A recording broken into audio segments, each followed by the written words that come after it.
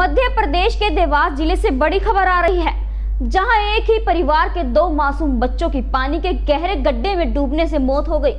Indore Betul national highway से लगे ग्राम संदूलपुर में एक हृदय विदारक घटना में एक ही परिवार के दो बच्चों की पानी के गहरे गड्ढे में डूबने से मौत हो गई।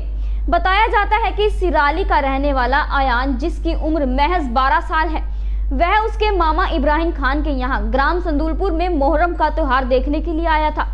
संदूलपुर में जुबेर, जिसकी उम्र महज आठ साल है। दोनों बालक सुबह शोच की कहकर घर से निकले थे। जब काफ़ी देर तक घर वापस नहीं लौटे तो परिजनों की चिंता बढ़ गई। परिजनों ने उन्हें जाकर तलाश किया। दोनों बालक के शव संदलपुर के बाहर बने कब्रिस्तान नाले के पानी में मृत अवस्था में मिले। पुलिस ने मौके पर पहुंचकर दोनों का शव को पीएम के लिए अस्पताल भिजवाया, जहाँ पीएम के बाद दोनों शव परिजनों को सौंप दिए गए हैं। इस दुखद घटना से परिवार में मातम छा गया है। बताइए ये सुबह आठ बजे से घर से निकले हुए थे तो हमने सोचे कि ताजिए तरफ़ गए होंगे। घूमने मतलब ताजिए देखने गए होंगे।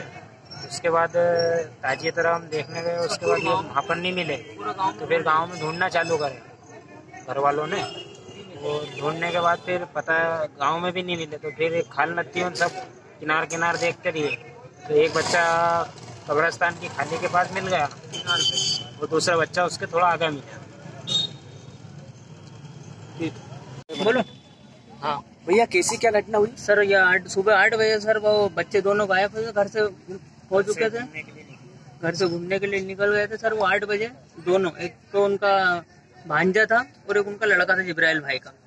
तो आठ बजे के निकले हुए थे घर से तो वो वहाँ से निकलने के बाद मतलब मिले नहीं मतलब घर वालों ने समझा कि घूमने गए हुए हैं। हम्म, जी। तो घूमने गए तो घर पे नौ बजे के समथिंग घर वालों ने पूछा कि बच्चे कहाँ हैं? हम्म, दोनों। अच्छा। तो घर पे नहीं मिले। हम्म, हो सका कि वो घूमने गए तो उसके पापा वगैरह सब ढूँढने गए थे चाचा वगैरह। हम्म, तो घर पे मिले नहीं वो कहीं पे। तो फिर गाँव में ढूंढे यहाँ वहाँ ढूंढे खाल नदी में ढूंढे। तो उन खाल के किनारों पे मिला एक बड़ा लड़का उनका भांजा। हम्म, अपने कब्रस्तान है संदलपुर में हम्म। कब्रस्तान की खाली है उसके पास मिल, मिला है एक बड़ा भांजा उनका। हम्म। और एक थोड़ा आगे उनका जिब्राइल भाई का लड़का मिला है एक घंटे के बाद। अच्छा ये दोनों बच्चों की उम्र क्या होगी लगभग? एक लड़के की है साढ़े दस साल और एक लड़के की आठ साल। ये आपस में रिश्ते में क्या लगते थे दोनों बालक? भाई भाई लगते थे दोनों। एक तो उनका मतलब भांजा है। दोनों मामा फूफी के लड़के। मामा फूफी के लड़के हैं दोनों। Okay? JBD Banquets lie hai incredible marriage palace Rajgharana and the finest banquet hall Jyoti Garden.